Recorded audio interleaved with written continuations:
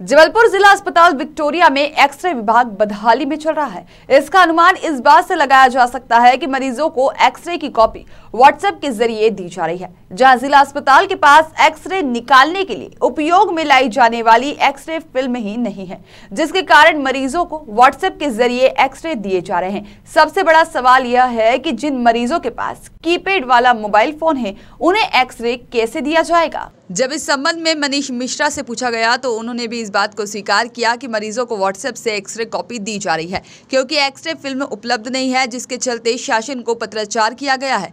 वहीं अभी मरीजों को व्हाट्सएप से एक्सरे दिए जा रहे हैं, जिससे कहीं ना कहीं जिला अस्पताल में आने वाले वो मरीज़ खासे परेशान हो रहे हैं, जिनके पास कीपैड फ़ोन है, जिसके चलते ऐसे मरीजों को रुपए खर्च करके प्राइवेट अस्पतालों में एक्सरे करवाने पड़ रहे हैं।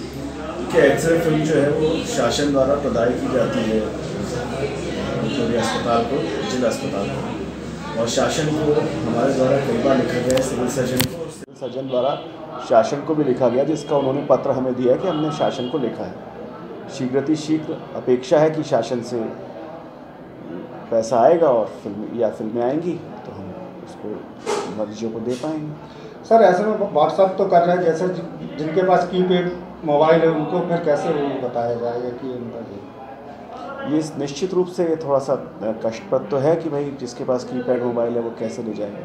पर परंतु प्राय प्राय लोगों के पास आप स्मार्ट रहते हैं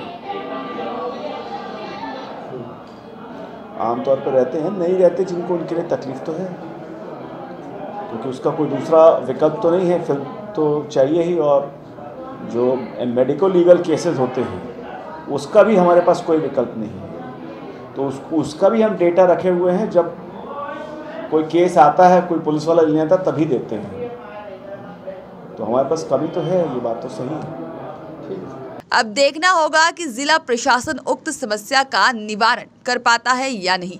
या यूँ ही पीड़ितों को सरकारी की जगह प्राइवेट अस्पताल में एक्सरे करवाने होंगे। ब्यूरो रिपोर्ट खबर एमपीसीजी